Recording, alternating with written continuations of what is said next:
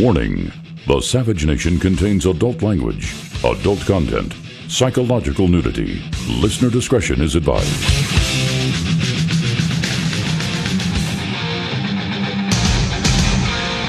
And now, America's most exciting radio talk show, The Savage Nation, home of unprotected talk, borders, language, culture. And here he is, Michael Savage.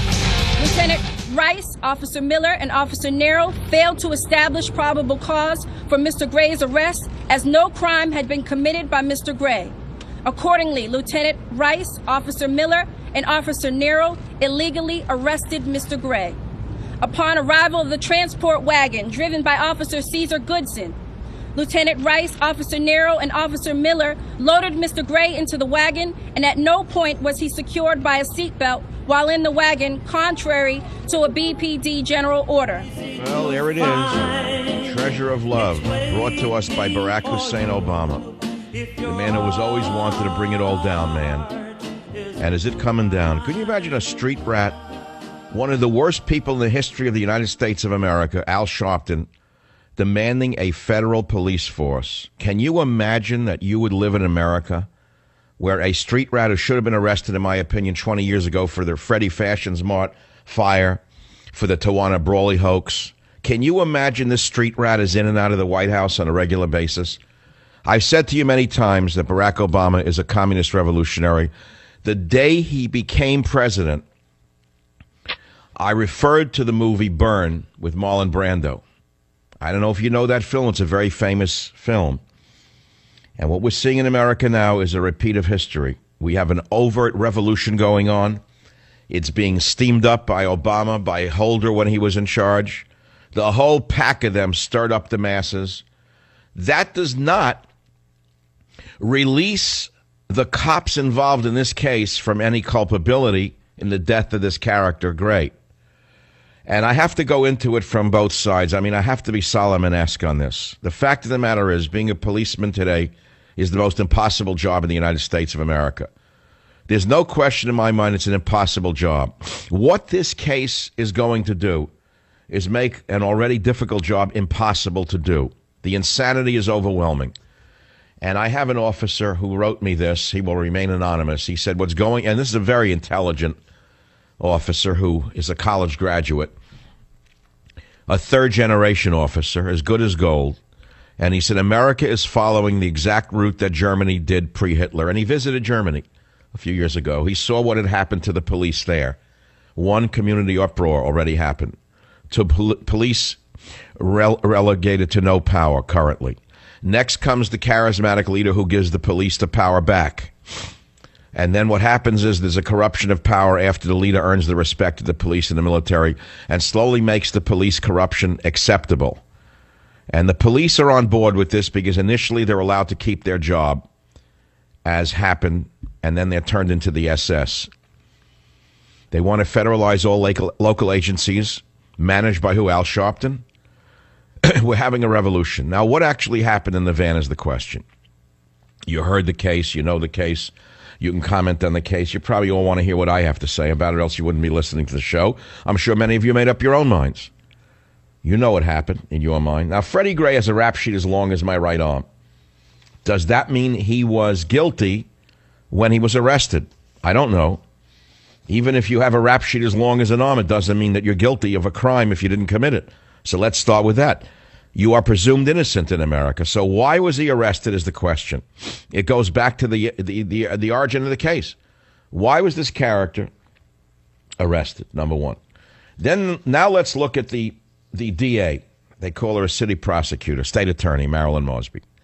First of all, she comes from a family of police. I did I didn't know that. That's interesting. But that doesn't mean that she's in favor of the police. She's as aggressive and as um, let us say, ambitious as Michelle Obama.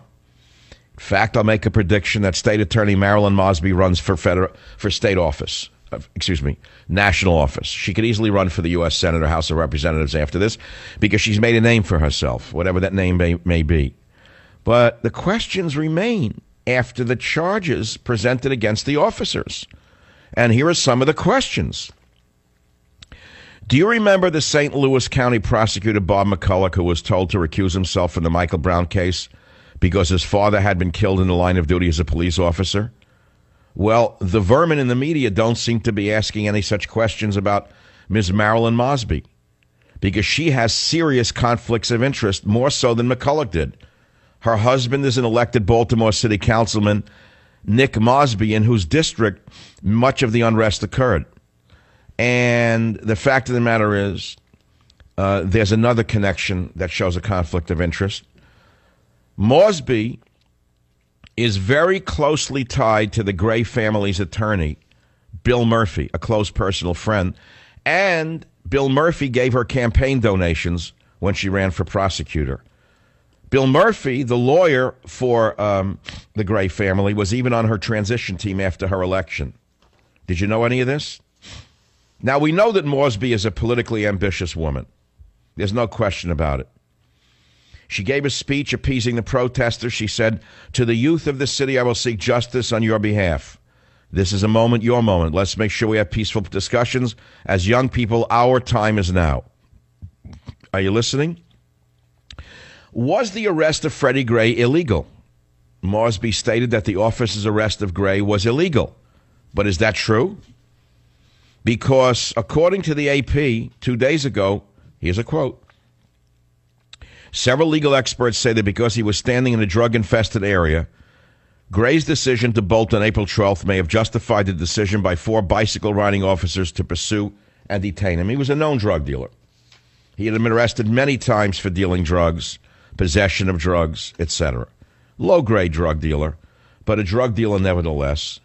And he ran from the police, so they arrested him. So were they justified in arresting him or not? Now, what about the seatbelt incident? I'll go into that. What's medical homicide? Do you know what medical homicide is? I'm going to explain all of this to you. But I want to tell you what I think happened. We're searching right now for the pictures of the officers. They appear all to be white.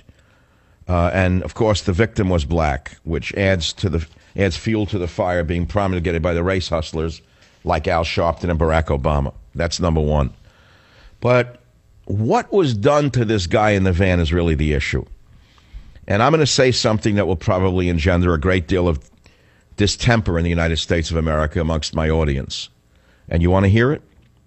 And here it is. First of all, the thin blue line is all that stands between us and the animals. It's that simple. It's not a racial statement. The animals can be white, black, they can be anything, you name it.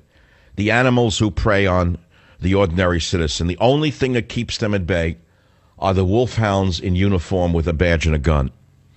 And if you want to make sure that the wolfhounds are defanged, go ahead and do it. Go ahead and do it, and you'll make the wolves' day. That's all I can say to you. Because if you want the wolves prowling in your safe white neighborhood, go ahead. Keep defanging the wolfhounds, because that's what you're going to have. Now, having said that, I'm going to give you the Solomon esque view of what I personally believe may have happened, and it's only a guess. Here's what I think happened they arrested him, whether rightly or wrongly. That's number one. Probable cause, yes. If he was a known dealer and ran away, he probably threw the drugs and ran.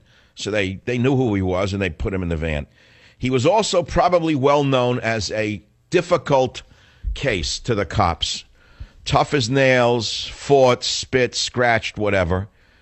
So they chained him up, uh, handcuffed him into the van, and they didn't seatbelt him because they were going to take him on a joyride. My guess, my intuitive guess, knowing a little bit about inner city police and how they work to restrain people who are known to be violent and wild on the ride to the police station, is they shake him up in the van, lurch him around. They figure by taking the stuffing out of him on the way to the police station, he'll be more subdued when they have to take him out of that van and put him into the hoosegow, the police station, the, the cell. In other words, arraign him. And uh, if he's full of energy, they're going to get bitten. They're going to get spit at. They're going to get kicked. They're going to get punched. So they take him on a little joyride and lurch him around, bang him up a bit, uh, and let the police van do the uh, do the work for them. They didn't intentionally kill him. He inadvertently struck his head against the uh, the bolt and died. That's my opinion of what happened. And the rest is going to be history. How you could ever prove it, disprove what I said, I don't know. Nobody was in there. You know, you want to put Body cameras on police. I go a step further. Put cameras inside police vans. I'd like to see a camera inside the White House. You want to bet? I want total transparency. I'd like a camera inside Al Sharpton's offices at the National Action Network. I'd like cameras inside Barack Obama's private offices. I'd like to know what he says when that street rat Al Sharpton and he conspired to bring down America. So I'd like to see cameras. I'd like to see a body camera on the president. I'd like to see a body camera on Al Sharpton as well. 855 400 uh, 7282 is the phone number. If you want to comment on any of this horrible situation, you can do so. Who would become a policeman after this other than a criminal? Who would go into this business other than a criminal? Why don't you just deputize the Crips and the Bloods in Baltimore, give them a badge and a gun, and turn them into the police? Then you'll have no crime at all. See, that's exactly where we're going here. These guys, some of them are very young men. Their lives are ruined forever. Think about what that means. Think about what this means to throw the book at these cops. Why all six of them? Why not just the van driver? Because State Attorney Marilyn Mosby is a greedy, aggressive, ambitious, out of control state attorney who didn't do the right thing.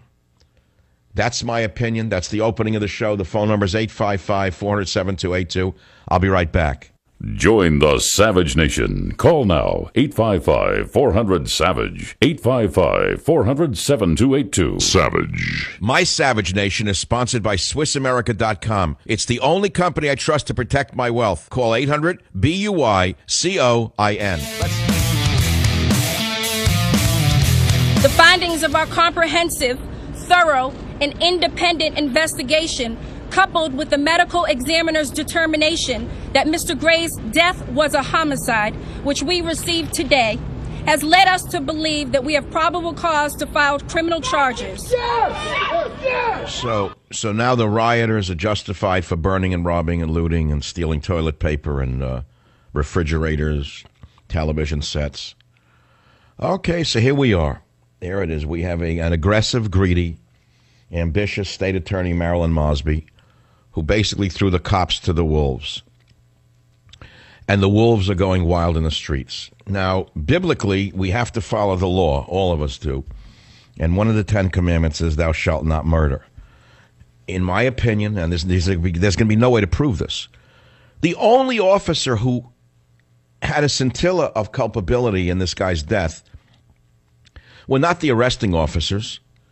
This was an overreach on the part of State Attorney Marilyn Mosby because she wants to be as aggressive as she can be to make as much political hay as she can and get as much money for her good friend, the attorney for the Gray family, Bill Murphy, in my opinion, a close personal friend of hers.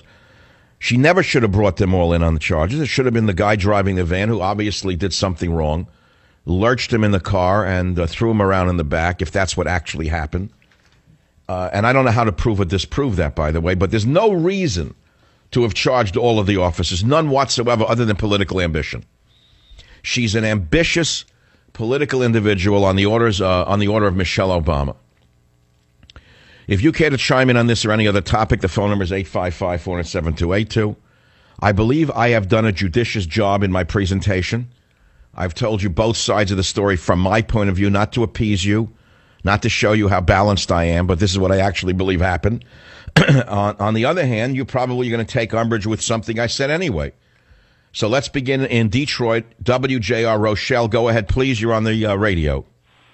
Hi, Michael. I just wanted to let you know, first off, my husband and I um, appreciate your program. We don't always agree with you, but most of the time we do. Um, we have a conservative bent but we don't affiliate with any party. We have three children. We're trying to raise them um, to obey the law. We live, quote unquote, in the ghetto.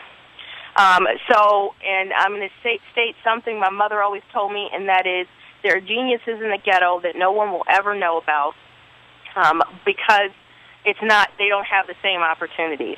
Well, I disagree with you. Excuse me. I've heard that crap all my life. I was born in a ghetto, and no one gave me a damn thing. I had to work for everything I had. No one gave me anything. So I don't want to hear that all of them are Einsteins running around with their pants under their behind. I'm not saying. All right, I'm glad you laughed. Come on, you like reality. That's why you laughed. It's why you and your husband like me. Because I'm one of the few people in the radio business who speaks exactly what he thinks. And whether you agree with me or not, you know I hit I hit it out of the park just now. They're not all geniuses in the ghetto. And plenty of kids grow up in the ghetto who somehow rise up above it. You know that. Right, right. No, Michael, that's not what I'm saying though. but here's the point. You made two really important points. One, you made the point that you thought that this could be the, the, the beginning of nationalizing the police force and, and different, and you may have a point there. But here's the question. Always remember, and I want everybody to hear this, when they start, and this sounds off the cuff, but just let me get, give me a second to, to come back around to the point. When they started with abortion, when Margaret Sanger started that, it was to eliminate the lower strata, those um, who were not that's right. Uh, Planned Parenthood is a eugenics organization aimed mainly at blacks. Exactly. So, right, so we agree. We agree on that. All liberals who are Planned Parenthood are fundamentally Nazi eugenicists. Exactly. So here's the thing, though. This is beginning, and let's just say everybody's saying, "Oh, he has to have done something wrong." Quite frankly, I have a son who's in college right now, and he's doing his best. But I might tell him, "Hey, if something seems suspicious, walk fast, eh, regardless of who it is, because I don't know. He can't. He can't just trust everybody, even the police at this point, because he doesn't know if he's going to be unfairly characterized. Now, hold on a second. I I didn't say anything. If I were a black and had a black son, I'd tell him to get away from any trouble there was and not stick his nose in it. Exactly. And here's the one thing. But I would say that to a white kid as well. I told my own son, if you see trouble, stay away from it. Don't stick your nose in it. So it's not a racial thing. It's not. It's really not. But here's the thing. You remember that famous uh, poem? They came after, you know, they came after. Yes. Wait. When they came for the communists, I didn't raise my voice because I was not a communist. When they came for the trade unionists, I did not raise my voice because I was not a trade unionist. When they came for the gypsies, uh, I didn't raise my voice, but not a gypsy. When they came for me, there was no one left. That's Cardinal Niemöller, who eventually was arrested by the Nazis and thrown in a concentration camp. So, what are you getting at? My point, really quickly, is if this young man has done nothing, and they have, and this turns out to be. Oh, you know what? Your point is too important to to drop you. I need this woman to stay on the line. Join the Savage Nation. Call now 855 400 Savage. Savage. Or have their own experiences of injustice at the hands of police officers. Oh, I urge you to channel the energy peacefully oh, as boy. we prosecute this case. I have heard your calls for no justice, no peace. Oh, However, boy. your peace is sincerely needed. All right, turn it off. So we know what she is. She's a rabble rouser. She's aggressive. She's ambitious. She wants to run for state office, federal, or wants to be a senator or a congresswoman. In her mind, she's going to be president because of this. And it's a shame because there is a dead guy. Let's say he was a drug dealer who was running from the police. Let's take that side of it. And there was probable cause to arrest him. And he fought with the police. They threw him in the van. And uh, whatever happened in the van, I don't know. The other guy in the van says he heard him banging his head on his own. It's point blank what he said. Then he says that he didn't do that. See, this guy Allen says, and they're trying to make it seem like I told him that. I made it like Freddie Gray did that to himself, Allen said. Why the F would he do that to himself? And um, this guy Allen was in the van because he allegedly stole a cigarette. You hear this from a store on North Avenue. And he was never charged. Instead, he was brought straight to the station. Allen said, I talked to Homicide. I told Homicide the same story. Now he says his story is being distorted and he fears for his life. So uh, Allen is saying there was no lurching in the van and that the guy was banging his head against the, the wall. You got to understand that there's a game being played by criminals in America right now. They know because of the ACLU. They know because of the rats at NYU, Columbia, Harvard, and all of the lowest forms of life law schools in America. Because of the low life communist scum lawyers in America, the the criminals have been taught how to get around the system. And the first thing that the criminals do is they say, Oh, I need medical attention. Oh, I have a heart condition. So the cop is allegedly having to take them immediately to a hospital for medical care. This is what the rats with big glasses and curly hair have told criminals how to do. You can thank all the boys at Harvard, NYU, Columbia, and the other low life schools of law for having empowered the criminals in this country. So don't think this came out of the blue. This guy knew the game. He was playing the game. He said, "Take me to the doctor." They didn't, so therefore they're facing, uh, the, I don't know what, ten years, twenty years, thirty years. Why all of them? Why not just the driver? Tell me why. Now let's go back to Rochelle on WJR. Rochelle, please finish. I didn't mean to interrupt you. I thought what you were saying made sense. We were getting along. What would you like to say?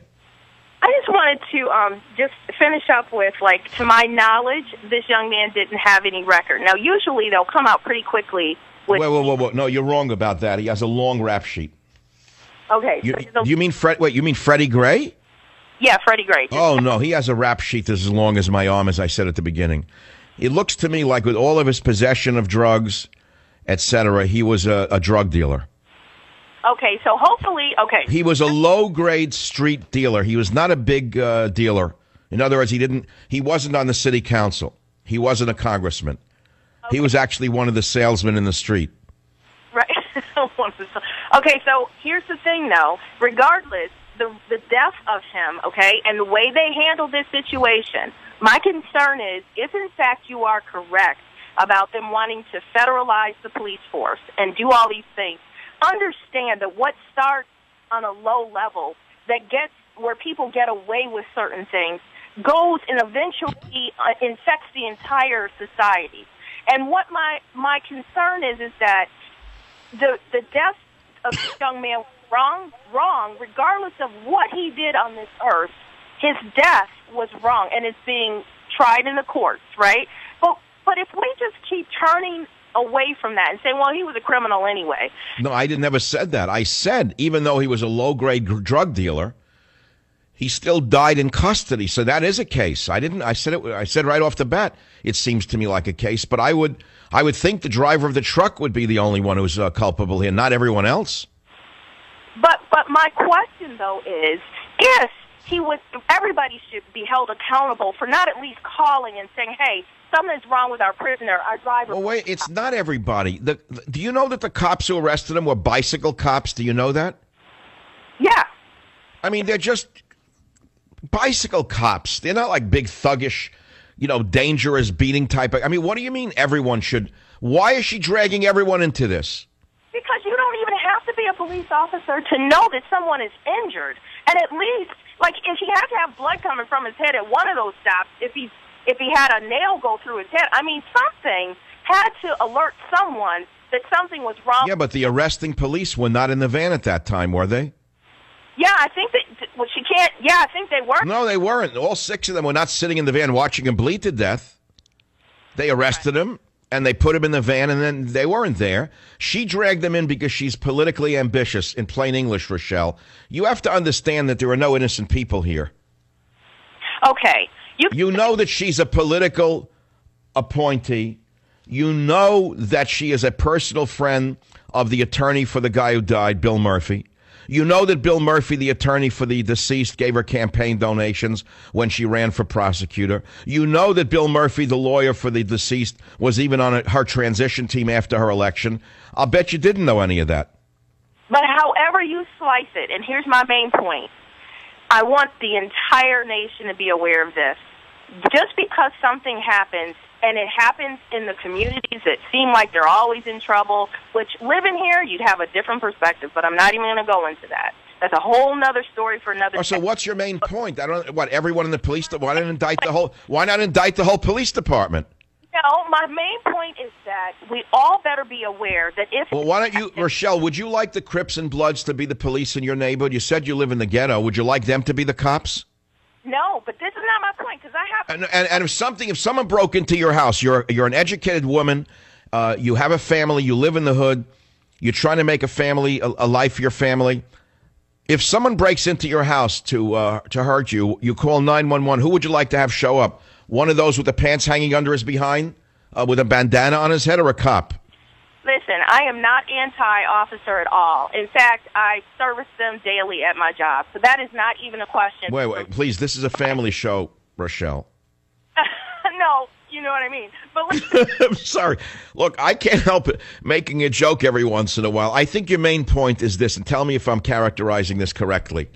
You're saying just because he was a drug dealer, a low grade drug, drug dealer, just because he's in a troubled neighborhood, just because he's a nobody, just because he has no connections, doesn't mean he doesn't have human rights. Isn't that what you're saying? Absolutely, and I'm afraid that it's going to get on. When it happens in the suburbs, it'll get attention. And this is where I'm going with this. Let's just really look at this. If this is because. Oh, you're saying that's why you brought up Cardinal Niemöller, which is that because no one came to the aid of Freddie Gray, it could happen to anyone else.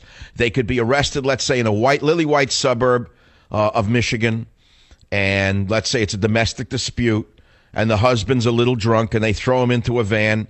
You say the same thing could happen to him. Isn't that what you're saying?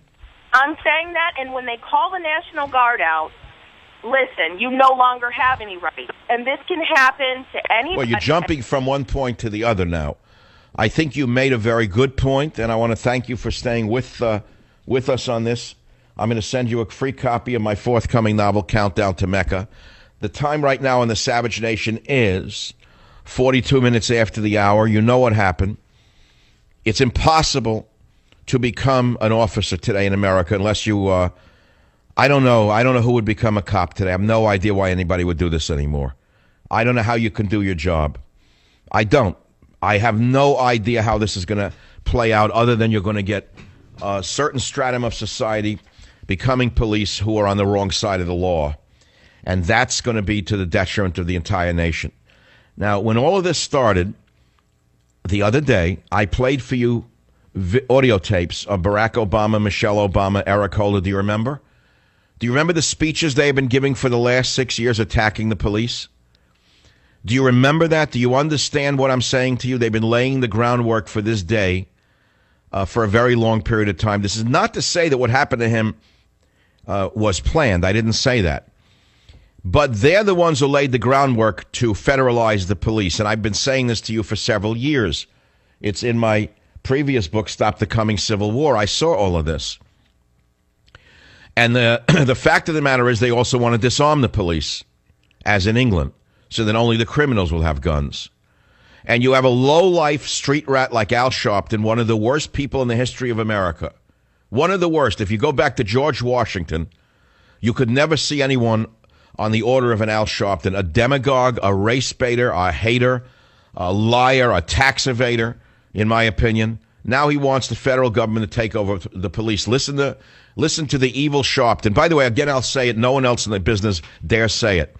Why do you dignify this man by calling him Reverend? I killed myself to get a PhD, and I am Dr. Savage. I earned it from a great university after two master's degrees. So far as I know, he got his reverend's degree in a crackerjack box in Brooklyn. Listen. We need the Justice Department to step in and take over policing in this country. In the 20th century, they had to fight states' rights and to get the right to vote. We're going to have to fight states' rights in terms of closing down police cases. Police must be held accountable. I don't think all police are bad. I don't even think most. I think that Al Sharpton should be held, be held accountable. I think the state attorney general in New York, who is not a good person, should have arrested him a long time ago for the crimes he's committed. Uh, I'll give you one example. Listen to who you're listening to. Al Sharpton, the man who, uh, with Tawana Brawley, made up a case about Tawana Brawley. Remember that? Remember Tawana Brawley accused Detective Pagones of smearing her with feces and raping her? And Al Sharpton was out in the street with her with a bullhorn? That is who your president has in and out of the White House? Let me put it in context for you. Make believe a super conservative person had won the presidency, and he's now in his second term. And in and out of the White House comes the grand wizard of the Ku Klux Klan on a regular basis. Do you think all those smart boys and girls in the media might have noticed somebody in white sheets going in and out of the White House? Well, that is the equivalent of Al Sharpton going in and out of the White House on the other side of the aisle. That's my position. That's how I see this. It does not mean, and I want to go back to my main point, it does not mean that this man should have died in custody. He did die in custody. Did he do it to himself? I don't know. The uh, other prisoner said, the other guy in the van said he seemed to be banging his head against the wall himself. How are you ever going to prove that?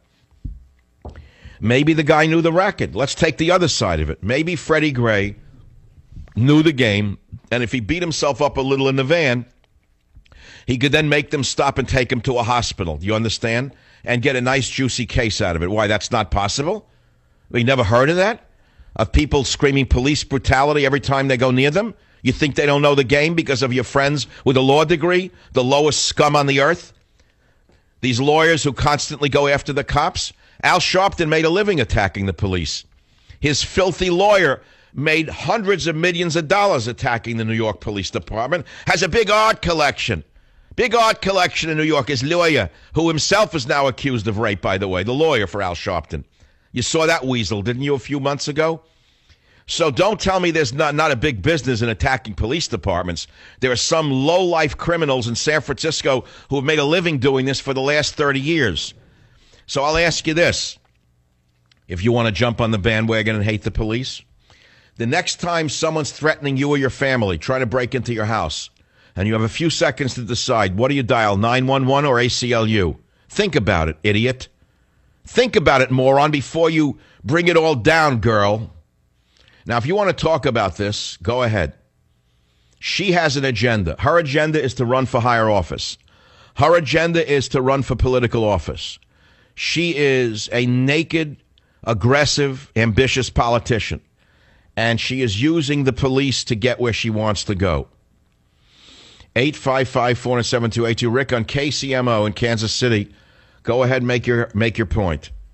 Well, I'm a 30 year experienced police officer that's now retired in Penn City, Missouri area, and I have a different, slightly different theory of what could happen, Doctor. If you'd like to hear it, I would love to hear it. Please finish the turkey sandwich so I can enjoy mine. okay. go, go on, it's okay. um, well, they were bicycle cops, so I'm gonna, and, and it really, we can look at it both ways. Bicycles are traveling to chase this man down with officers on them, or there are officers on foot chasing him, or both. And when you tackle a guy, usually you grab him around the neck just out of instinct. And I would imagine the police officers on the bicycles would do the same thing. Now, when you come off your bicycle or you're running at full speed and you bring a person down, a neck can be twisted to such an extent that it breaks. But Hmm. if the person doesn't have any ill effects right then, and then he could have been put in the truck. The, I want to call it a paddy wagon, but that's probably in. Right, I was going to call it a paddy wagon, but that refers to, to to my Irish friends, so I can't do it. There, we have a lot of Irish cops around here, and You know, it's funny. You know, that's the derivation of the word paddy wagon. Most people don't know that. right. It was it was used uh, in in the early days of New York's police work because they were arresting a lot of Irish. So they were arresting the paddies. That's where it came. Hold on, this is a great call. You were a former officer. You have a theory they could have broken his neck, taking him down. Very important that Rick stays with us on on the Savage Nation. I'll be right back. Join the Savage Nation. Call now 855 400 Savage. 855 400 7282. Savage. My Savage Nation is sponsored by SwissAmerica.com, the only company I trust to protect my wealth with gold and silver. Call 800 B U I C O I N. I'm Donta Allen. I am the one that was in the van with Freddie Gray. All it did was go straight to the station, but I heard a little banging that was like he was banging his head, and they trying to make it seem like I told them that you know what I mean that Freddie Gray did that to himself. Why the f- would he do that to himself? I talked to homicide. I told homicide the same story. The only reason I'm doing this because they put my name in a bad state. Okay, paddy wagon. Remember I told you where I thought the word derived from? And it actually, according to one source, came from the New York draft riots of 1863 during the Civil War. At that time, the Irish were the poorest people in New York. And you don't know this, but when the draft was implemented, wealthier people could buy out of the draft by paying for a waiver. So the Irish who were poor rioted, and the term paddy wagon was coined. Arrest those damn paddies. You understand where the word paddy wagon came from? Just a little side note. You can call it a van, prisoner van, a wagon, paddy wagon, but I thought you'd want to know where it came from. When we come back, more on what happened to Freddie Gray and why is this aggressive prosecutor throwing the book at so many cops right here on the Savage Nation. Join the Savage Nation. Call now 855 400 Savage. 855 400 7282. Savage. Warning The Savage Nation contains adult language, adult content, psychological nudity. Listener discretion is advised.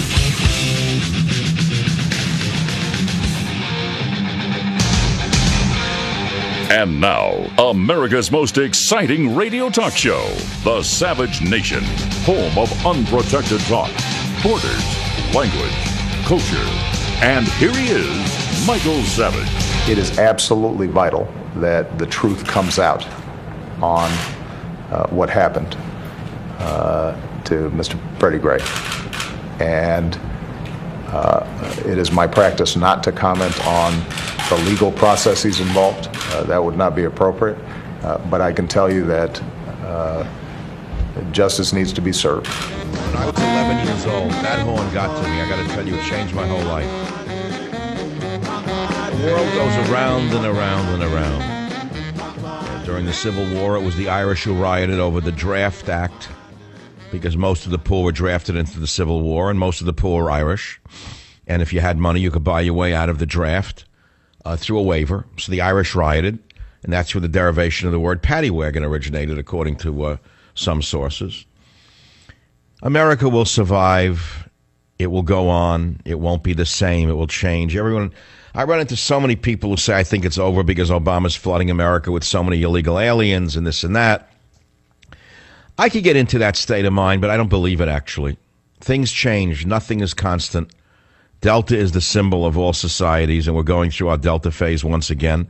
It may not change the way we would like it to change, but America will survive. It will recover from this evil administration. The unfortunate part is that we elected another government, we elected a new Congress, and instead we got the same thing. We have cowards, we have backstabbers, grifters, just like the Democrats. They're in it only for the money. They're only to grease their own palms and grease the palms of their donors. That's what the Republican Party has become. So we, the people, are stuck with the situation.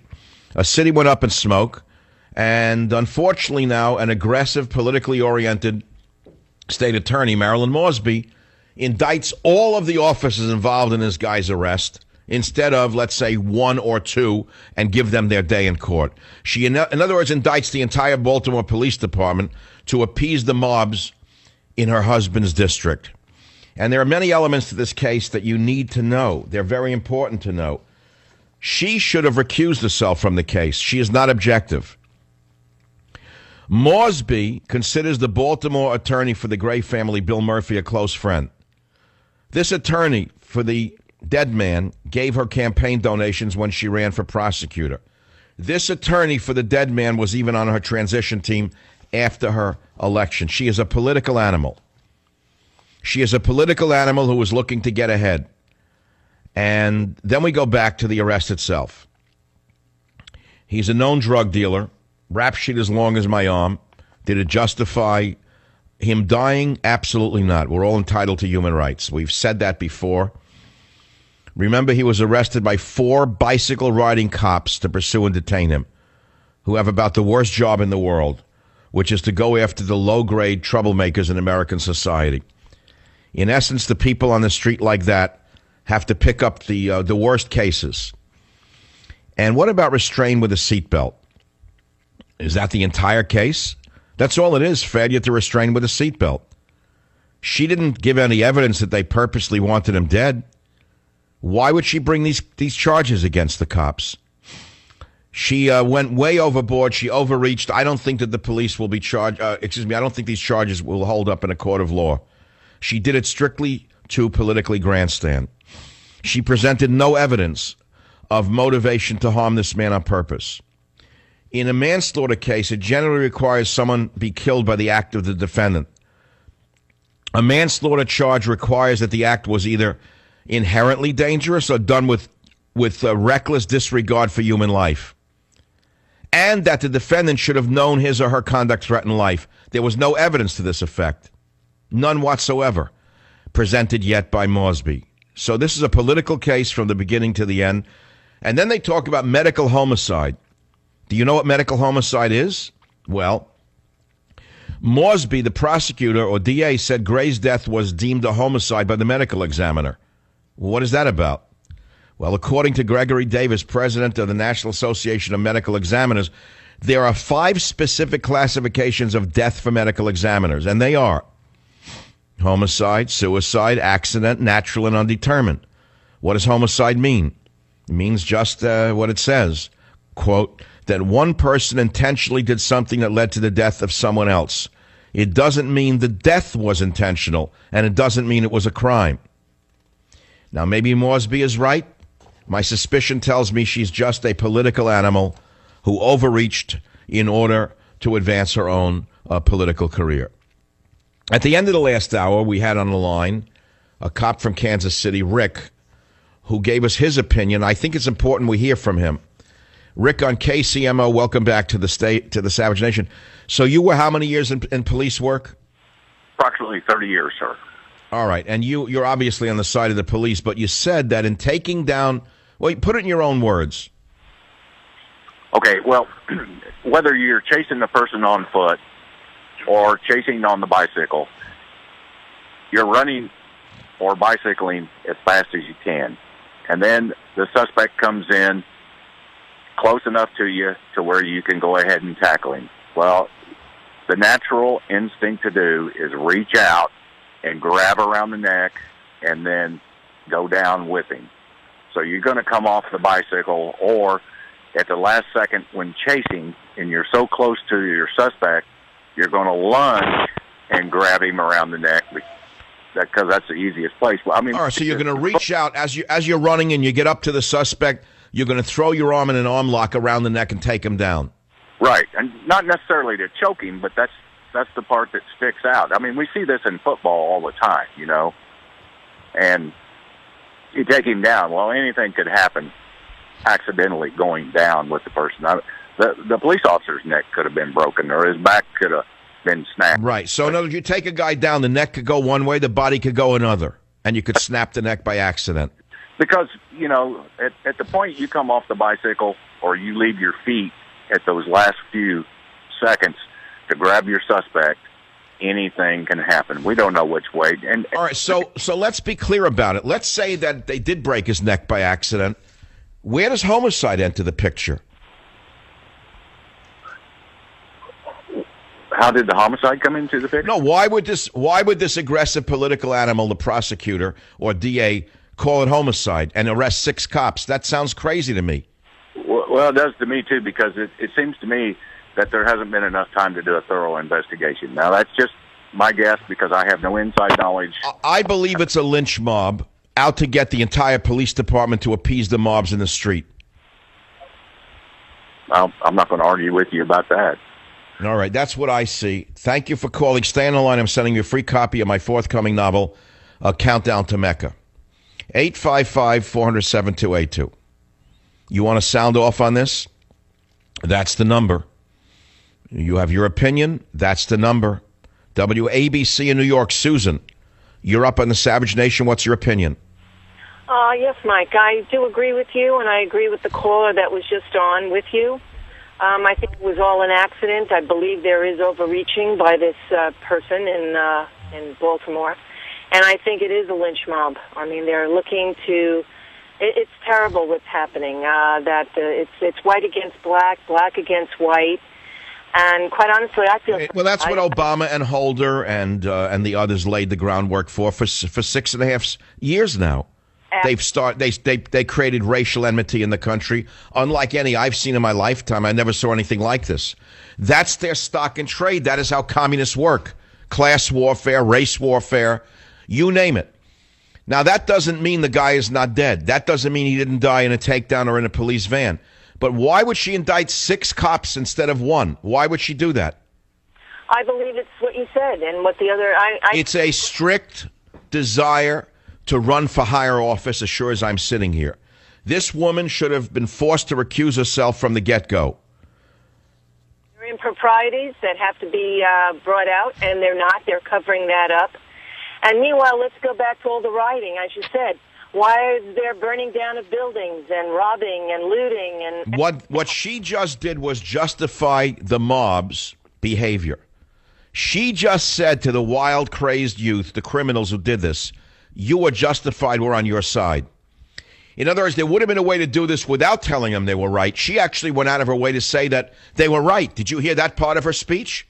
Yeah, how about the time, uh, I think this week she made a comment that those who wish to destroy, you have to give them a little space? No, no, no. That's a different one. That's the mayor. Okay, This is now. This is now Baltimore State Attorney, the DA Marilyn Mosby. This is a different one, who basically is telling uh, those who rioted that they did the right thing. Listen to clip number six on the Savage Nation. To the youth of this city, I will seek justice on your behalf. This is a moment. This is your moment. Let's ensure that we have peaceful and productive rallies that will develop structural and systemic changes for generations to come. You're at the forefront of this cause.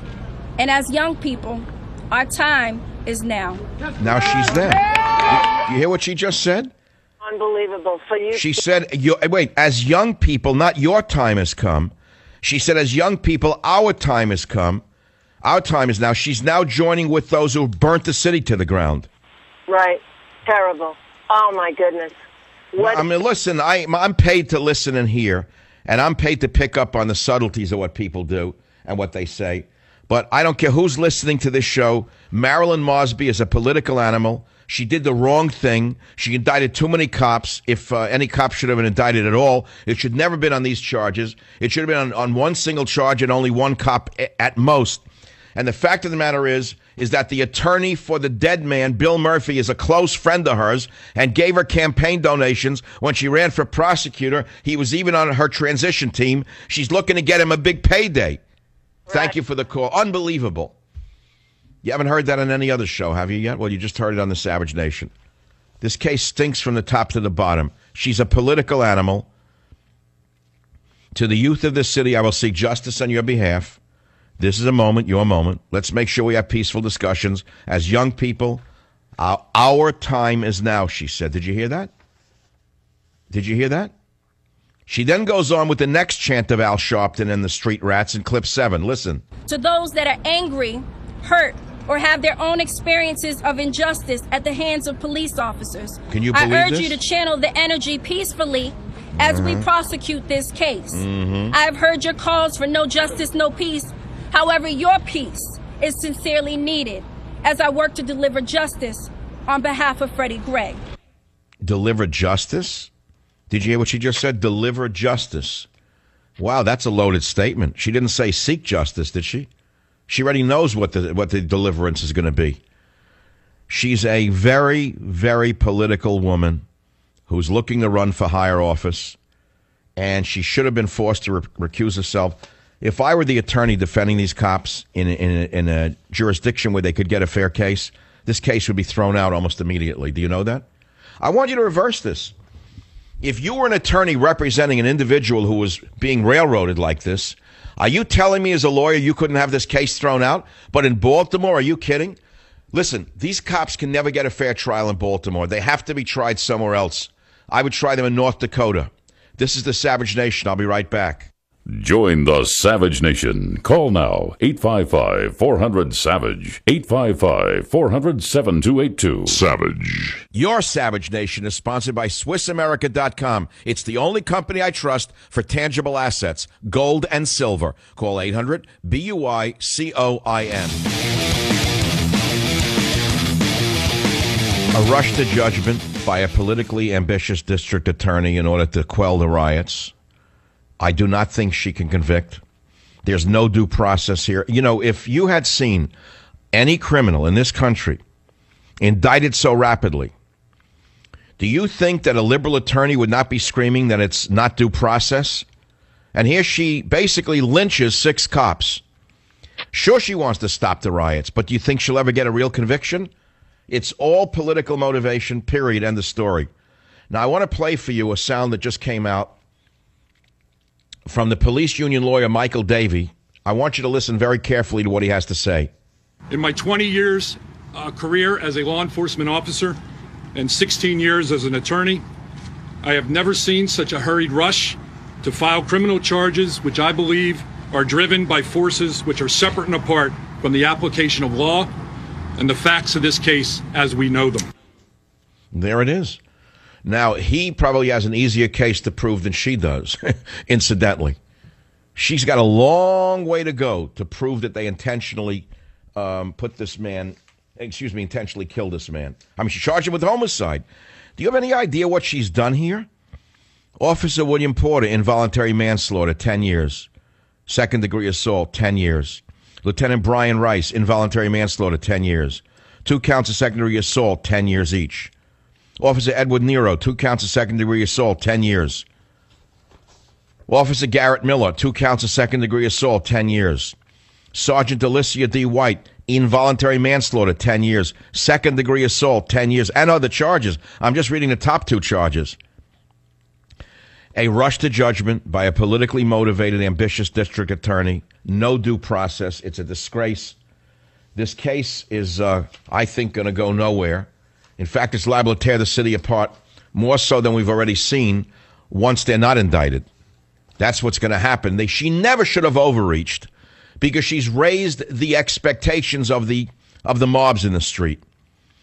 The first thing I would do if I were the police union lawyer is point out that the attorney for the dead man is a close friend and he gave her large campaign donations when she ran for prosecutor and that the attorney for the dead man was even on her transition team.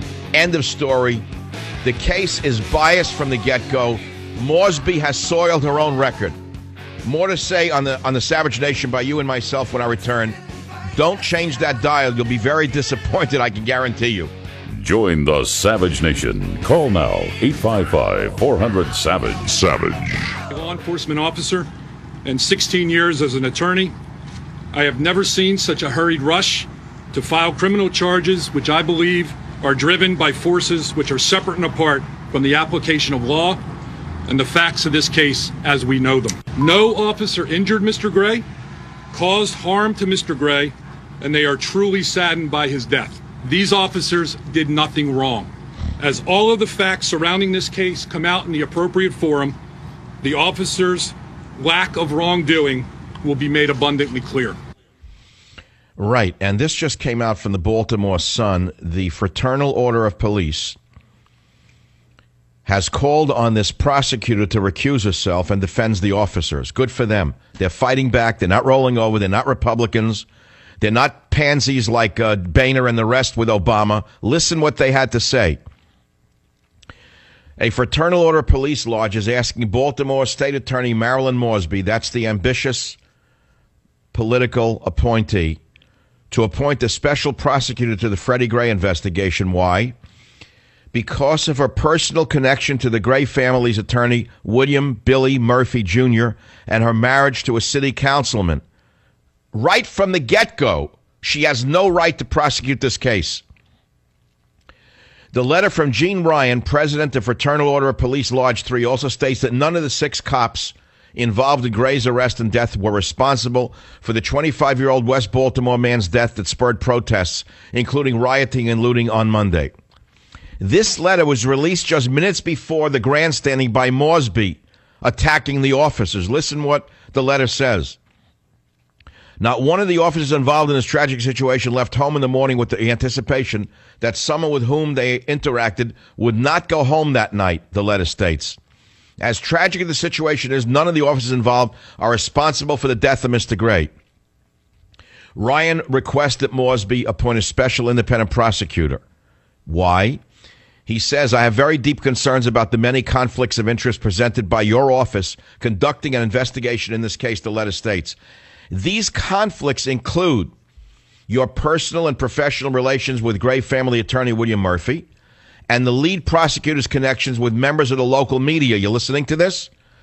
Based on several nationally televised interviews, these reporters are likely to be witnesses in any potential litigation regarding this incident. The, the, the attorney, the attorney for the deceased, Murphy, supported her by donating $5,000 to her campaign and served on a transition committee, as I said to you earlier. Now, of course, she denies these charges, and she wants to be the one who prosecutes it, of course, the grandstand. But the letter goes on, and they say that there's a problem with Mosby's marriage to Baltimore City Councilman Nick Mosby. Here's what it says Most importantly, it is clear that your husband's political future will be directly impacted, for better or worse, by the outcome of your investigation, the letter states.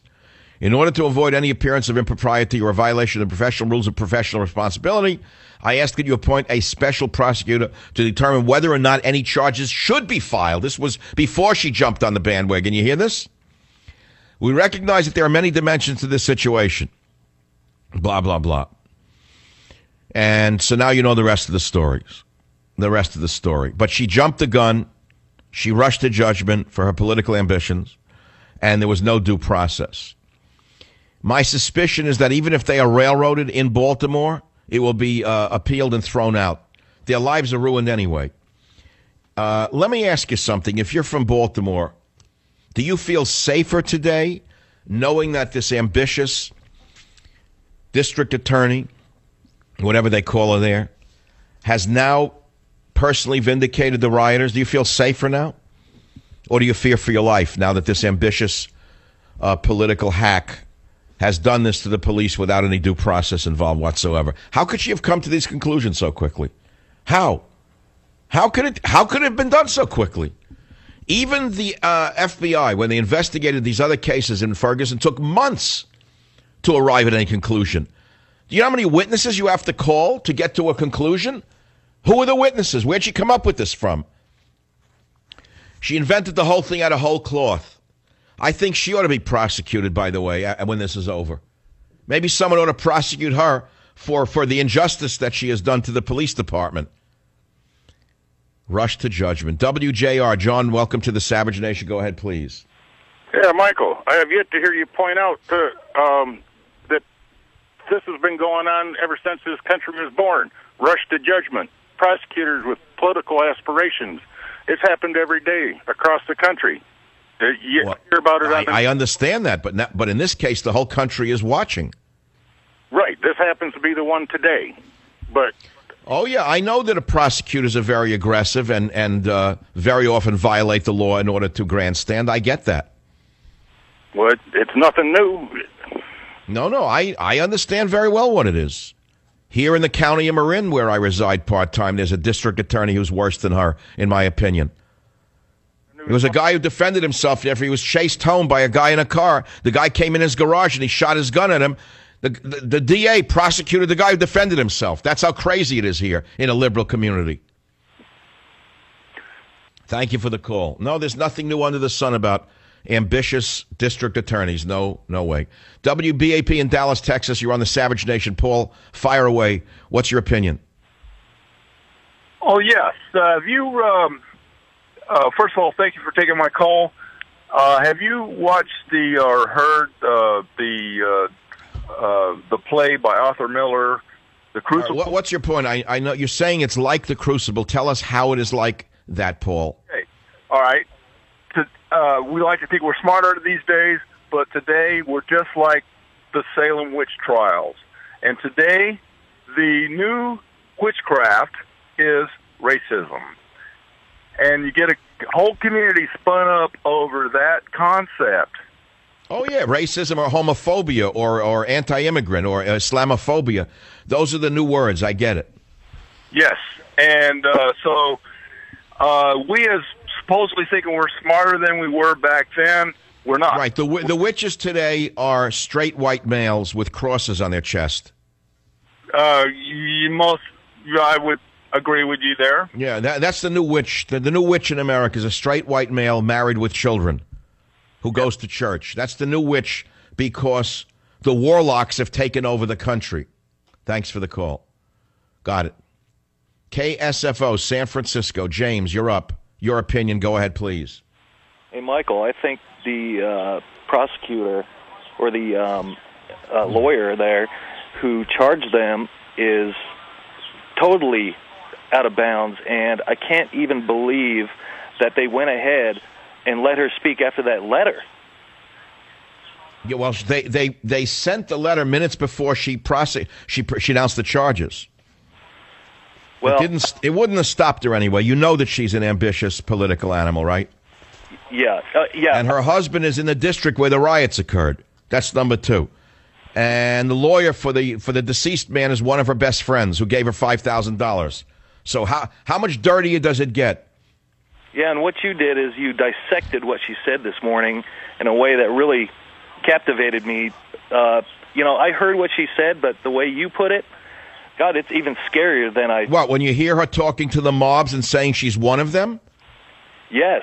Yeah, let's play clip six now. I want you to listen to this and tell me if this is these are the words of an objective prosecutor or DA. Listen. To the youth of this city, I will seek justice on your behalf. This is a moment. This is your moment. Let's ensure that we have peaceful and productive rallies Yeah, that will right. develop structural and systemic changes for generations to come. You're at the forefront of this cause. And as young people, our time is now. Our time is now. So she joined the rioters just now. She she's one of them. In other words, she sounds like a child, doesn't she? How she ever got through law school, I'll never understand.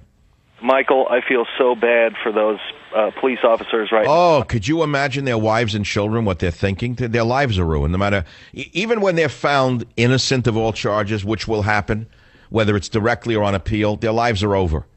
Well, I, I, I have a problem. I would like to raise a fund I mean, for them, which I may have to do. I've done it before. No one knows this. Some of my listeners know it. I've come to the aid of falsely accused soldiers. I've come to the aid of falsely accused police. I think we should start a fund to raise money for their defense and get the best defense attorneys in America to uh, to uh, to get them uh, get these charges taken away from them. That would be wonderful, Michael. Hey, the uh, the six that were charged, I am afraid that they're going to look at that and say, well, at least one is going to stick on one of them, and if they don't get one, at least one, uh, you know, uh, to stick on the charge, could you imagine the riots that were? Oh, you mean the you mean her friends will burn the city down? The ones who she said as young people, our time is now. yeah, it might the, be. the gang members and the young communists who came in from uh, from New York to, to burn the city down. Did any of them get indicted along with the cops? Did any of the arsonists who burned down the senior center get indicted by this ambitious uh, district attorney? I know. Did any of those who, who broke into the CVS and burnt it to the ground have they been indicted by this ambitious district attorney? I don't know. I don't think so. Yeah, it's a shame that uh, they're not looking at that. It's just all pointing to the officers, and I think that he did inflict the the wounds on himself as well. Well, that see that part I don't know what he did. I don't know what he did. I know he's dead. It could have been in the takedown. It could have been in the van. But there was no intent to commit homicide here anywhere. I, I agree with you. It does. If, if it, By by this woman's definition of manslaughter, it means no cop can ever arrest a, a, a criminal ever again. Because any cop who takes down any criminal after this could fear that he'll be arrested for manslaughter. How is he supposed to arrest a criminal? Asking him to come with him? Excuse me, Mr. Johnson. Will you please step this way and step into the handcuffs? Is that what they expect a cop to do? you know, my heart goes out to all the police. I, I have police in my family. I, I don't know how they can do their job. I don't know how in the world anyone can take this job on. I don't know who's going to take this job after this. I don't know. And I want to thank you for calling. Stay on the line. My uh, new novel's coming out, Countdown to Mecca. And uh, I'll be talking more about it next week, the week before publication. And you're going to see what I have to say about Islamic terrorism and what they're planning to do to this world. And uh, by the way, one other side note you want to hear who the luckiest people on earth are? Bill and Hillary Clinton. Right after the uranium scandal blew up in her face, rightly so, the thievery, the outright crookedness of these people, what happened? An earthquake in the Himalayas. What happened after that? The riots in Baltimore. Everyone's forgotten Hillary Clinton's scandals, didn't they? Right? How did this happen? Now, she didn't orchestrate the earthquake and the riots. I understand that. She's just a very lucky person. You know, some people are born with a lucky star over their head. These two are the luckiest people on the planet. All right, my friends, if you want to sound off for the remaining minutes of this hour or next hour, unfortunately, the show is sold out, but there are so many people with so many good things to say. We'll have all the latest sound and breaking news on the Freddie Gray case right here on the Savage Nation. Join the Savage Nation. Call now 855 400 Savage. 855 400 7282. Savage. Hey, our Savage Nation is sponsored by SwissAmerica.com, the only company I trust for wealth insurance, gold and silver. Call 800 B U I C O I N. Lieutenant Rice and all of the officers are deeply affected by Mr. Gray's passing, and that his injuries did not occur as a result of any action or inaction on the part of these officers. It is our intention to try this case in the courtroom and not the media. These statements have been made in an effort to protect all of the officers from undue prejudicial effect of publicity surrounding this Bingo. case. We believe that these officers will be vindicated as they have done nothing wrong. He's 100% right. Fraternal Order of Police, they're fighting back against this ambitious, vicious uh, political DA. She rushed to judgment. No due process afforded the police, ruined their lives in order to calm down the mobs and move up uh, politically. There's no question in my mind. Now, does that mean that the guy should have died? No. No one's saying he should have died. No one said that uh, that he didn't die. But just because a man dies in custody doesn't mean someone killed him. By the way, this is a uh, a distortion of the liberal viewpoint of police work. Marilyn Mosby is not objective. She's a political animal. And the attorney for the Gray family, that's the dead man, Bill Murphy, is a close personal friend. He gave her $5,000 uh, for her campaign. He was on her transition team. Her husband, her husband is a councilman in the district where much of the rioting occurred. And that's Baltimore City Councilman Nick Mosby. The fact of the matter is, from the get go, this prosecution stinks. And I would say she should be ashamed of herself, but she's in a long line of individuals along that line, including Barack Obama, Attorney General Holder. I would even say Al Sharpton. They're all one and the same in mentality. That's what they are. So listen to her again now in her appeasing of the rioters who burnt the city down in clip six. She becomes one of them in this statement. To the youth of this city, I will seek justice on your behalf. This is a moment. This is your moment. Let's ensure that we have peaceful and productive rallies Yeah, right, that will sure. develop structural and systemic She changes say the word. for generations to come. You're at the forefront of this cause. And as young people, our time is now. See, she's one of the rioters. She said, I will seek justice on your behalf. Did you hear what she said? She didn't say justice in this case or on behalf of Mr. Gray. She said justice on your behalf, the rioters. Then she said, This is your moment. She's thanking them for burning the city to the ground. Then the, phrase structural and systemic changes comes right out of the college crackpot uh, handbook. The college crackpot handbook of anti Americanism has such phraseology as structural and systemic changes. Then she says, You're at the forefront of this cause. What cause? What cause was that? What is the cause she's talking about? If she says it's a cause, then she's already shown her bias. She shouldn't be talking about a cause, she'd be talking about a man's death. So the cause she's talking about indicates that she's a biased political animal. She rushed to judgment. She ruined the lives of six police officers. She made the lives of everyone in Baltimore less safe. And she has vindicated the mobsters who burnt the city to the ground. The only one who wins here are them. More about it on the Savage Nation in the coming hour. Be here or be nowhere. Join the Savage Nation. Call now 855 400 Savage. 855 400 7282. Savage.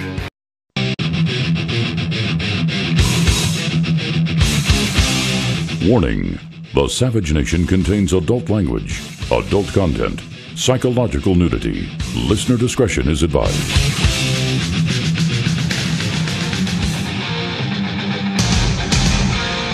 And now, America's most exciting radio talk show, The Savage Nation, home of unprotected talk, borders, language, culture. And here he is, Michael Savage. Oh, if only we could start it over again. How'd you like to turn the clock back to 2007 before this gangster took over America and wrecked everything? Welcome to the program. Did I attract your attention? You think it has nothing to do with the community organizer in the White House? You think it has nothing to do with the race war he started? You think it has nothing to do with what they've been doing to police from the get go? You think it has nothing to do with that? I disagree with you. This case, as we see it, is a tragedy all around. I say we, I'm using the imperial we, meaning me. Me, myself, and I. This prosecutor is a political animal who herself should be prosecuted for her rush to judgment and violating the due process of these police. In any other city of America, this never would have happened.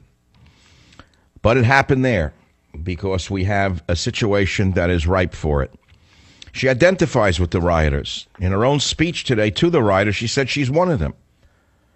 And she then says to all of those who are out there that she heard their calls for no justice and no peace. And she says, I will work to deliver justice. Deliver justice? She means seek justice, doesn't she? She means railroad the cops, is what she means.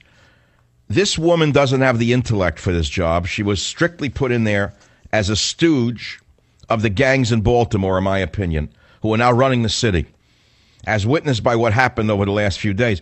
They rushed to judgment on the cops. Have any of the rioters or looters or fire starters been indicted as quickly? Answer no. But she rushed to judgment. She attacked them. Huge charges, ruined their lives. No cop in America now is safe. Every criminal in America is now safe to ply his trade. Every shoplifter onto a murderer can now claim that they're being unfairly treated by the police.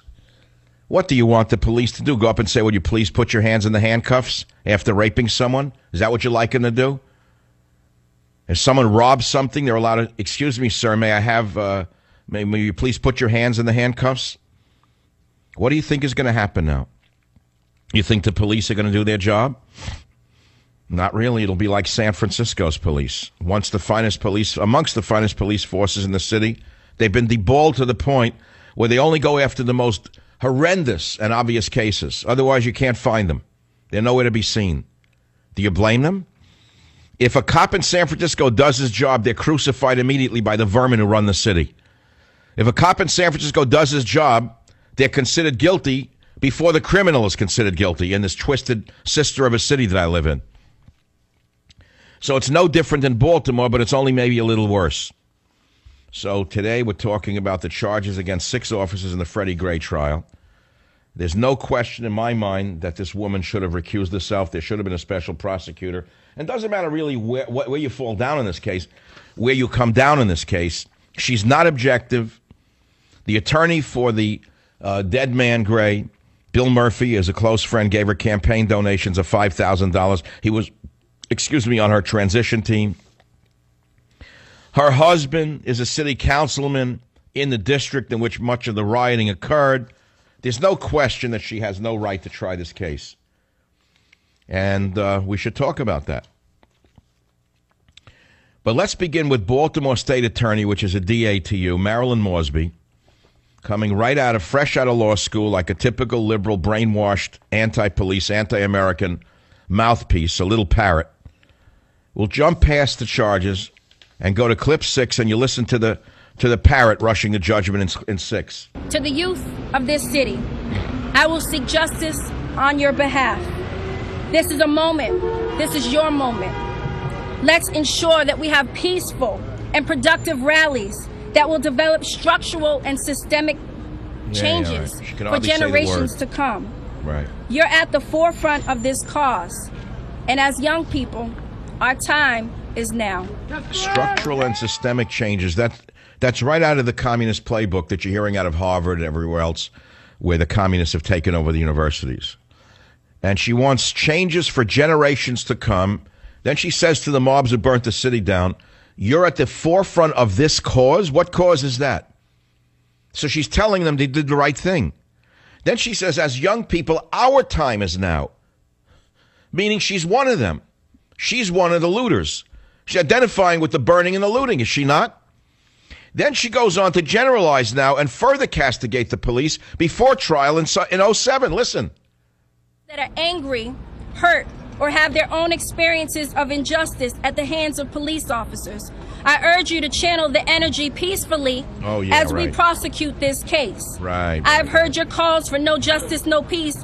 However, your peace is sincerely needed as I work to deliver justice on behalf of Freddie Gray. deliver justice, not seek justice, but deliver it. Those of you who are into words understand how important the work is that I'm doing for you today. Uh, and I think you need to understand how not only how biased she is, but how stupid she is. She could hardly say the words because they were written for her, obviously, by the same group that works for Obama and Al Sharpton, in my estimation. She could hardly say the words structural and systemic. She stumbled on the words. I've heard them so many times before, they're out of the playbook, of the crazy college playbook. Let's go to the callers on the Savage Nation across America. Karen in Washington, D.C. on WMAL. Go ahead, please. You have your time in the sun on the Savage Nation. Good afternoon, Dr. Savage. I'm a Baltimore native. I was born and raised there. My father was a veteran of World War II and then spent 43 years in the Baltimore City Police Department. So I have a, a close view and, and I'm very um, aware of what's going on up there. My elderly parents still live there and I worry about them. Um, I don't think the place is safer. But my point is, and, and you've touched on it, and it, it just brought to mind that these people that are running the city now, um, this, the mayor, and now this district attorney, they have a win-win situation. Uh, the mayor, when she had the stand down order, I, it made me sick to see those officers retreating while they were being thrown bottles and and rocks and bricks. And by the way, they were also sent out there with they were also sent out there with body without body armor by her, by the mayor. But but go on, make your, your bigger point. broke it broke my heart. But the win-win then continues to these charges that are baseless right now and over the top. So from the first situation with the stand down order, there's a lot of police officers that are going to say the heck with this and they're going to leave. And yes, They should leave. They should just abandon. They should aban- They should abandon. They should take an early retirement. They should get out of Baltimore and let the gangs run the city. And then we'll see how this big mouth has what the big mouth has to say in a few in a few months or a few years when all the decent cops leave. Well, the mayor had just attended a conference up at, at the White House. She was one of three mayors, um, and they were talking about federalizing the police force. Yes, of course. Well, that's what Obama's wanted from the get go. Do you remember his clip that everyone forgets from the from the early days about the National Security Force? Did you do you remember that one? Absolutely. Or hold it, hold it. I want you to. So I'm going to do something that's very important for you on the Savage Nation. We're going to play Obama on a national police force before he became president, and then the street rat Al Sharpton in uh, a, a cut from today. Listen to the two of them. We cannot continue to rely only on our military in order to achieve the national security objectives that we've set. We've got to have a civilian national security force that's just as powerful, just as strong, just as well funded. We need the Justice Department to step in and take over policing in this country. In the 20th century, they had to fight states' rights and to get the right to vote. We're going to have to fight states' rights in terms of closing down police cases. Police must be held accountable. I don't think all police are bad. I don't even think So most you of see them. the game here. The mayor of the city, the uh, Baltimore State Attorney, the DA, in, a, in essence, they're all the- reading the same script given to them by somebody. Do you agree with me on that, Karen? Absolutely, absolutely. I thought that. I listened to her live this morning. I was listening to a radio station out of Baltimore, um, and heard her live, and I I could not believe, and I I could just just tell by listening that she was reading a script. Yeah, she Something read a like that. script, rushed to judgment, no due process. How could she have come to these conclusions in three days? Can you explain that to me?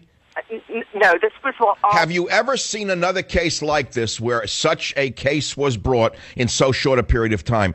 It's impossible. Even Eric Holder's uh, federal case, attempted federal case in, in the case of Ferguson, do you remember how long it took for them to do due, due process? Do due, due, due diligence? Sorry, to conduct due diligence. Do you remember how many months it took? And then eventually, and eventually, they could not bring charges against officer off the officer Wilson and Ferguson because there were no charges to be brought. This one rushed to judgment. She made the whole thing up. And and Dr. Savage, what will happen when that's shot down?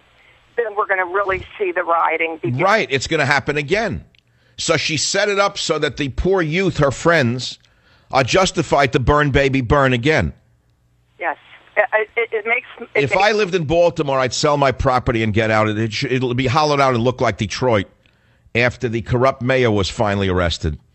begged my 90 year old father to take, he's got license plate holders that say Baltimore City Retired Police. He is so proud of his service to the city during a time. He was there in 68 when they rioted after Martin Luther King was assassinated. And I mm. remember my dad being gone for days and days on end. Karen, they have one motto there. It's called "Burn, baby, burn." Now, Harm City, it's not Charm City anymore. Mhm. Well, my heart goes out to you, Karen. Listen, all good people of Baltimore know what's coming, and they know the handwriting is on the wall. Karen, I'm sending you a free copy of my new novel, Countdown to Mecca. God bless you. Thank you. Stay on the line. WABC New York, Fausto, welcome to the program. Fire away. Hi, um, Dr. Savage. I'm a cop in uh, Newark, New Jersey. As our blood flows in the street, Remember this case. You keep changing your name, calling the show for years. Uh, I'm sorry, I can't take it right now. It's, I- I know he got dumped. WABC in New York, Joe. Welcome to the Savage Nation. Go ahead, please. Uh, hello, Dr. Savage. Uh, yeah, I'm a retired uh, police captain, actually from uh, big city in the East Coast in New Jersey. Um, just an anecdotal, anecdotal story uh, regarding a job we had one time. Uh, we were in the fifth floor of a building. Uh, it was a five-story building, and the person we were trying to apprehend was on the fourth floor. Uh, long story short, while we were searching the apartment, I noticed the window that was open. Typically, we cover the building on the outside, uh, but there were no fire escapes, and the fact that he was on the fourth floor, I didn't think anyone would jump out the window. Right. case, he decided to. Uh, I looked out the windows. I saw it open, and I saw the subject getting up from hitting the ground. Right, so he's staggering to try to get away, and he's walking around. And I yelled to my officers to go downstairs and try to grab him. Um, one of my officers ends up apprehending him, and in the course of this, uh, there's a struggle with uh, the subject gets him handcuffed. He brings him to the front. Now I know this person has to be injured because I, you know, basically witnessed him fall from the fourth floor window. Right. Um, he's staggering over. He's screaming about his back and everything. So I said, okay, listen, uncuff him. He's got to be injured. Uh, I go to the hospital. We take him to the hospital. Check him later. He said uh, he had an ended up, ended up having a broken neck and a broken back. He was still still able to fight uh, my officer. At Oh, sure. Oh, absolutely. Some of these, uh, some of these uh, uh, perps have superhuman strength. People don't know that. Correct. And, and this was early in the morning. I mean, this was 6 a.m. And he told the subject told me, "Hey, I was trying to hang at the window until you guys left, and that's all I remember." So he slipped, you know, and he fell off. the Oh, but. Joe, the point of the story is: were your officers indicted for the, for for homicide? No, not at all. Now, that- now I was on the scene, and obviously I knew the person had to be injured because it was a fourth floor fall. Now, if I hadn't been on the scene, I don't know if it could have gone a different way. Uh, because the, the subject did struggle and uh, and put up a fight with my officer, they might have just handcuffed him and brought him to the jail, and and you know, not nothing would have happened. But the, the subject sustained these injuries, and they might not have ever even known it had he not been taken to the hospital. Uh, the, the, the point being, you don't know what. Wait, Joe, I want to ask you something. You, you know this case from the get go. The Fraternal Order of Police is calling on a prosecutor to recuse herself. You know she rushed to judgment for political reasons. Do you actually think these charges are going to hold up? Uh, you never know, but uh, I, it absolutely was a rush. I never saw anything like Well, that. you know, I never saw a three day uh, set of charges, a charge sheet in three days. Have you? Here's the thing in Baltimore, the charges will hold up. Therefore, they cannot get a fair trial in Baltimore. Therefore, that case needs to be tried outside of Baltimore. Don't you agree with that? Yeah, absolutely. And uh, you don't know. What, And wouldn't a, and wouldn't a jury of their peers mean all white jurors? I'm sorry. Say that again. Well, no, you say a jury of your peers. So who are the peers for white police officers? I see what you're saying, but you know, it's got to be. I know it doesn't it doesn't apply in the case of white police officers. I get it. Unless they're handpicked by Al Sharpton and his goon squad, they're not going to be jurors. Stay in the line, Joe. I'll be right back on the Savage Nation. Join the Savage Nation. Call now 855 400 Savage. 855 400 7282. Savage. My Savage Nation is sponsored by SwissAmerica.com. It's the only company I trust to protect my wealth. Call 800 B U Y C O I N. Here's another scandal that just blew up. Are you ready for this one? You know, Bill Clinton and Chelsea are hiding in Africa. And uh, Clinton donors are on the plane with them, a so called safari. They're trying to raise money while doing good. Former President Bill Clinton and daughter Chelsea left early this week on a nine day tour through Africa with a plane full of Family Foundation donors and supporters in tow, adding jet fuel to accusations that contributors are getting rewarded and courted for even more money. I'll make it very simple for you. Sean Davis, co founder of conservative online magazine The Federalist, says this if hopping on a private jet so you can go on safari with a bunch of rich celebrities now counts as charity work, then the Kardashian sisters should probably be eligible for sainthood. That's Bill Clinton. Hillary, of course, is the luckiest woman on earth. Not only did Mount Everest explode in the Himalayas, but Baltimore also exploded, wiping the uranium scandal from the front pages. You talk about luck, huh? When I come back, more on the latest news right here on the Savage Nation, 855 407 I'll be right back. Join the Savage Nation. Call now 855 400 Savage. 855 400 7282. Savage. Stunning rush to judgment, the miscarriage of justice. I've never seen anything like it in my life. There's no question that questions remain uh, about the Freddie Gray death. Let's start from that. But I've never in my lifetime seen a DA rush to judgment against cops as quickly as this in such a short period of time. There's no due process. She cannot successfully prosecute this case. She's way out of her league. She sounds like a child who was pushed to get ahead her entire life, first through college, then through law school. You can hear it in her speech. She's a child. And this child is not going to get away with this rush to judgment. I can guarantee you as I sit here, and I'll, I'll tell you what, I'll make a bet on this show right now that even if her false charges are upheld in Baltimore with a kangaroo court, it will be thrown out on appeal. And at that time, all the damage will have been done. And once it is thrown out on appeal, the same mob that she is now identifying with as her new friends will riot again and burn the city down again. Again, she said to them, she's one of them. In clip six, listen to it carefully. To the youth of this city, I will seek justice on your behalf. This is a moment. This is your moment. Let's ensure that we have peaceful and productive rallies that will develop structural and systemic changes for generations to come. You're at the forefront of this cause. And as young people, our time is now. She could hardly read the speech written for her by someone. Structural and systemic. She didn't know what she was saying the, the big lawyer there, systemic. She know what the word was. Structural and systemic uh, changes. You're at the forefront of this cause. How could it be a cause? It's supposed to be justice she's seeking, isn't it? But no, it's a cause. So on the from the get go, if I were a lawyer for these cops, I would say this this uh, this prosecutor or DA says that this is a cause. This is not a trial, it's a cause for her, and she must be recused immediately. And then she further said that as young people, our time is now. Ladies and gentlemen of the jury, she's identifying with the rioters and the looters and the burners. I'm sorry. The whole thing stinks to high heaven. This is not to justify the death of Freddie Gray with a rap sheet as long as my leg. The guy looks to me with all of these arrests drug dealer and a low level street drug dealer possession of a controlled dangerous substance, false statement to police officer, unlawful possession of a controlled substance, possession of a controlled substance, unlawful possession of a controlled substance. This is year after year after year. Controlled dangerous substance, possession of a controlled dangerous substance. The guy was a low level street a, a drug dealer. Okay. And so the cops knew who he was. And there's no question that he was running because he threw the drugs away. How he got his neck broken is the question. So have a trial on that.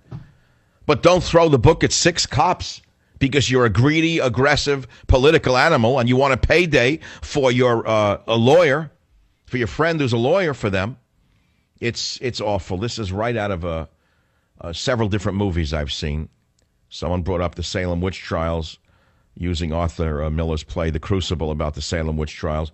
The witches today are the police, and uh, now they're being charged in advance of a case. They're being made into the into the new the new devils, and it was all because of Obama's attacks on police for the last six, seven years, six years, however long this regime has been in power. From the get go, they've been attacking the police. Him, Holder, the street rat Al Sharpton, attacking police, vilifying the police, making all police white devils. It's been going on and on and on until finally they finally have what they've wanted.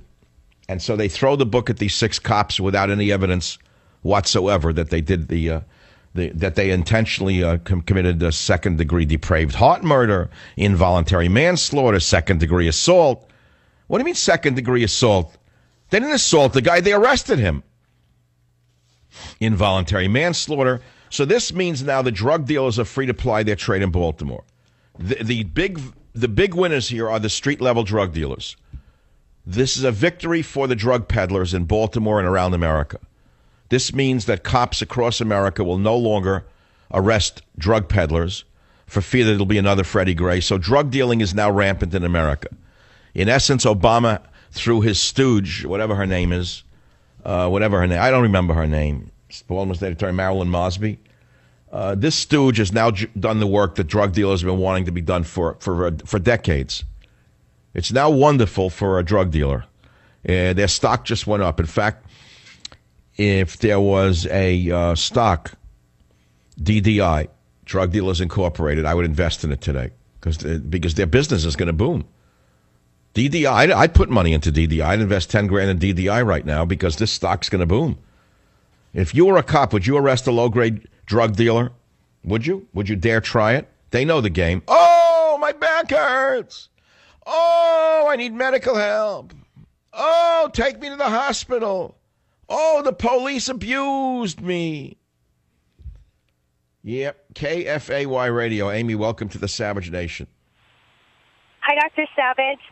Basically, I just wanted to bring to your attention the fact that Hillary Clinton just not even a week ago had a speech about how she was advocating for women's rights and how you know her mom and her grandparents had fought and and ha- she said the words it's our time for women i Oh. get correlation with what the baltimore da said and um she basically said the same type of thing it's your moment it's our time our time is now Uh, it's coming out of it's coming out of central casting. In other words, all these speeches from the uh, uh, illiberal Democrat machine. Well you know you never want to waste a crisis right Well, this is not. You know, you're right, but it's not a laughing matter. Six six lives are ruined now.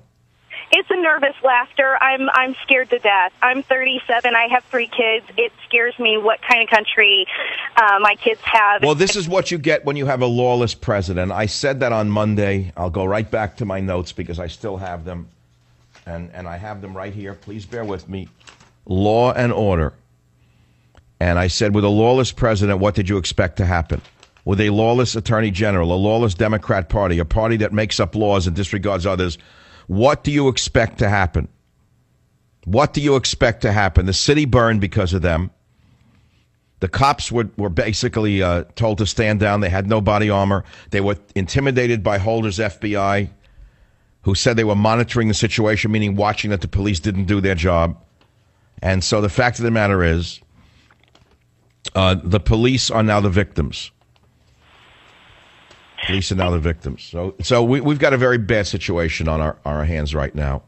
KSFO, San Francisco, Lewis, welcome to the program. Go ahead, please.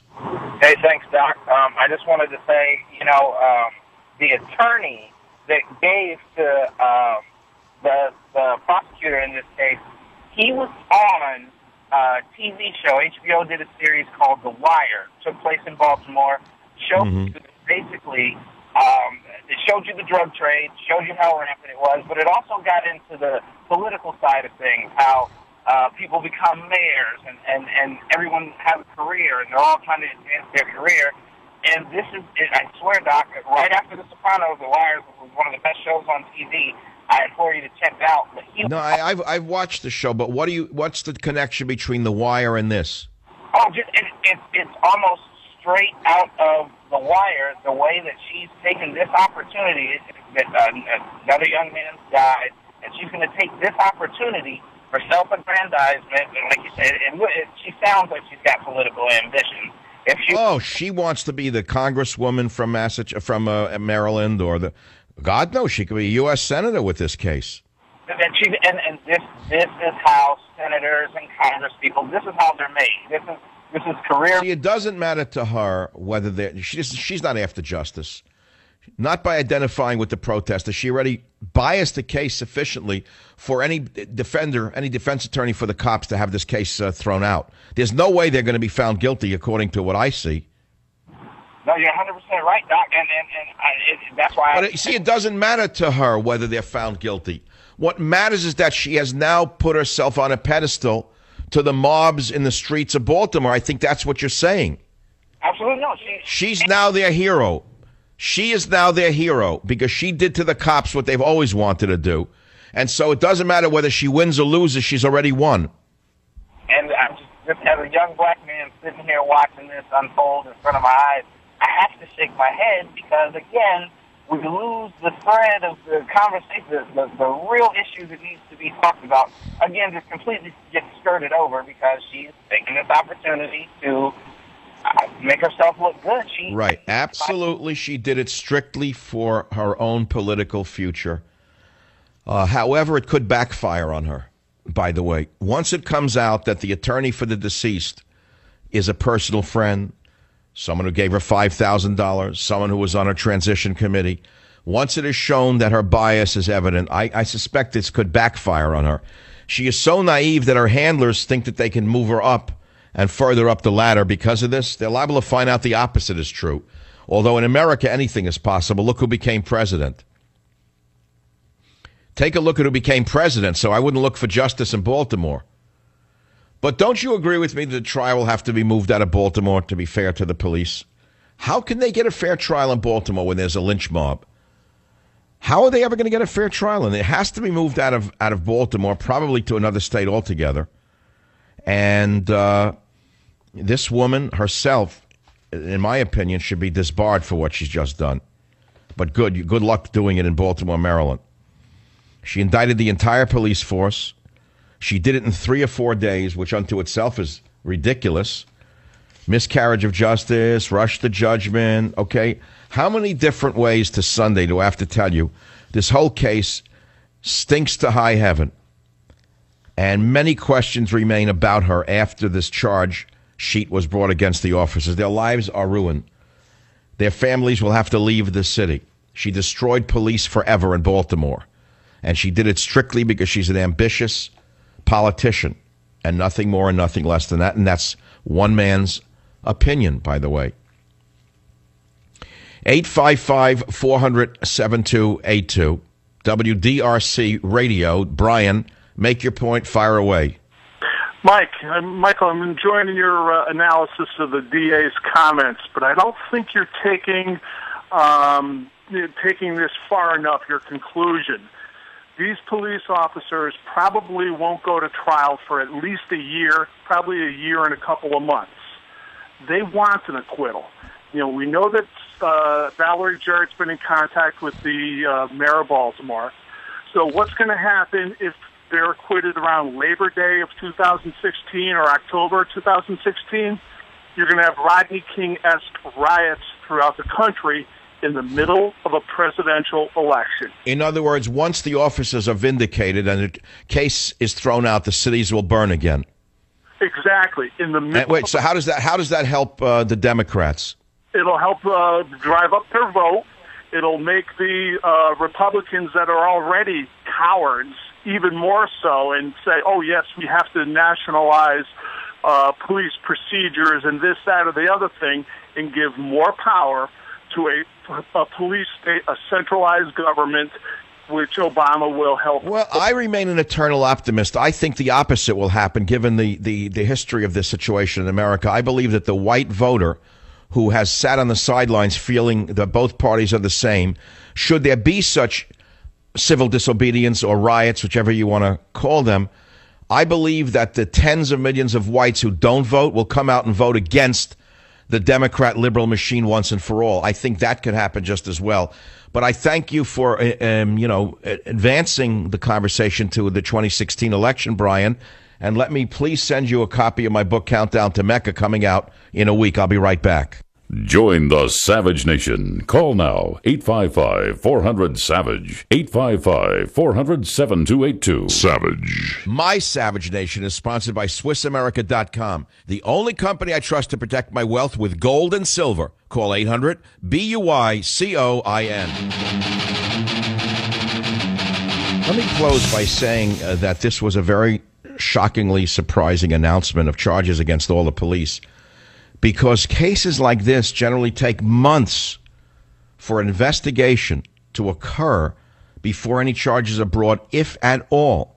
So there's no question in my mind that this was a rush to judgment by a politically ambitious district attorney who did not conduct due process for the police. And it's a very dangerous precedent for anybody, black or white, in this country.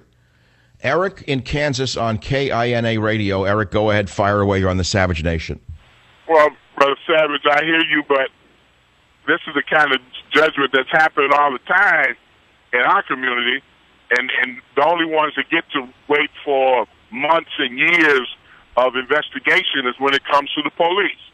But all right, you you make a fair point. So let me ask you this: How about the fact that Marilyn Mosby is totally tied into the Gray family attorney? Don't you think that raises questions?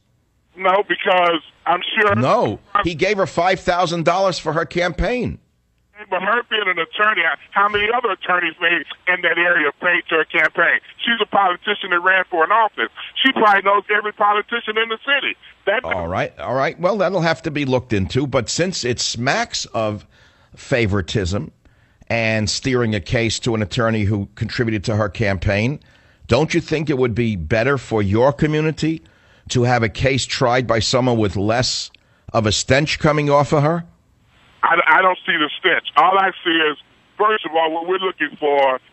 And, and you act, uh, come on, Eric. Let's be clear. Do you actually think those six cops purposely killed him? I don't. I don't know that. I don't know if they did or didn't. I think. No, come on. Look, you sound like a reasonable guy. You've got your grievances, and I get that. But do you really think six cops would purposely kill a guy like this in a van? Well, and I tell you what, I didn't I didn't think that I'd ever see in 2014 or 2015 an officer just take six or seven shots at a man running away from him and blow him away. But I did. I see. I'm seeing it every day. And no, wait a minute. They, they didn't shoot this man. No one took a shot at him. He's a known drug peddler. He obviously was dealing drugs. They caught him. He threw the drugs away. No one's justifying his death, but why would you ruin the lives of six men on such a spurious case with such a biased district attorney, Eric? It's not good for your own community to have such a nakedly political district attorney rushing to judgment and lynching the cops. That's my opinion. But I repeat, look, not everyone's going to agree or disagree on this. Eric, thank you for listening so carefully. Unfortunately, I'm flat out of time. It's the Savage Nation. Thank you very much for listening. With God's will and your listenership, I shall return. Savage.